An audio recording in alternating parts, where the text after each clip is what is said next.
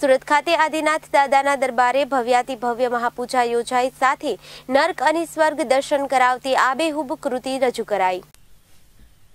સુરત ખાતે આદિનાથ દાદાના દરબારે ભવ્યાતિ ભવ્ય મહાપૂજા યોજાઈ. સાથે નર્ક અને સ્વર્ગ દર્શન કરાવતી આબેહૂબ કૃતિ રજૂ કરાઈ. જૈન સમાજમાં પર્યુષણ પર્વનું અનેરું મહત્વ હોય છે. ત્યારે સુરતના લબે હનુમાન રોડ ખાતે આવેલ સેફી સોસાયટીના મધ્યે શ્રી આદિ નેમી ગ્રુપ દ્વારા પર્યુષણના મહાપર્વ નિમિત્તે ભવ્યાતિ ભવ્ય મહાપૂજા કરવામાં આવી હતી. સુંદર રંગોળી અને લાઇટથી સુશોભિત કરાઈ હતી અને નર્ક અને સ્વર્ગની કૃતિઓ રજૂ કરાઈ હતી, જેના સૌ કોઈના દિલ જીતી લીધેલ અને કુમારપાળનો લાભ જસવંતભાઈના પરિવારને મળ્યો હતો અને મોટી સંખ્યામાં જૈન સમાજના લોકોને ચિરેતર મોટી સંખ્યામાં જોડાયા હતા અને એકબીજાને મિચ્છામી દંડકમ પાઠવ્યા હતા.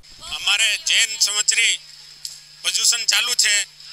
એના નિમિત્તે અમારે આ કુમારપાલનો જે લાભ મળ્યો અમારા બનેવી શ્રી જસવંતભાઈને, એ અમારા સંઘ તરફથી જે લાભ મળ્યો, આજે અમારા કુમારપાલ રાજા તરીકે એની વરઘોડો કાઢવાનો હોય, એ વરઘોડો કાઢ્યો. મંદિરે દર્શન કર્યા, આરતી કરી. અમારે અત્યારે તહેવાર પ્રદૂષણ ચાલે છે. એ નિમિત્તે અમને બહુ આમ આનંદ ખુશી છે, આનંદ મળ્યું. એના માટે અમે બહુ ભાવ વિભોર છે અને બધાને જે કંઈ બાર મહિનાની અંદર કોઈ પણ ના તરફથી કંઈ બી દુઃખ પહોંચાડ્યું હોય એના માટે અમારા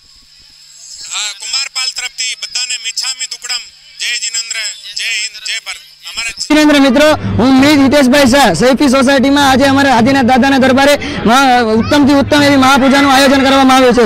જેમાં અઢાર વાપસતાને જે આપણે અઢાર પાપો કરીએ છીએ અલગ અલગ, તેનું નિર્માણ કરવામાં આવ્યું છે. ત્યારબાદ નરકમાં જવા માટેનો જે નરકમાં આપણે કેવી રીતે જઈએ છીએ તે દેખાડવામાં આવ્યું છે. અને ત્યારબાદ સદગતિ એટલે કે દેવલોકનું નિર્માણ કરવામાં આવ્યું છે. અને ત્યારબાદ આપણે આદિનાથ દાદાના ખૂબ સુંદર એવું અવિસ્મરણીય દાદાના દર્શનનું આયોજન કરવામાં આવ્યું છે.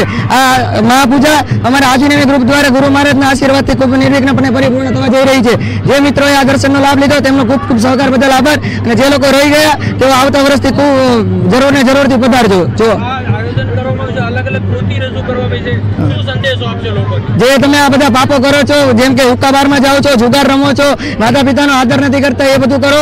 કોઈની કામ કંપની ન કરો કોઈ શું કરે છે એ ન જોવો તમે પોતપોતાના કામમાં વ્યસ્ત રહો અને પુણ્ય કમાતા રહો. બીજા શું કરે છે? જીવ હિંસા ન કરો.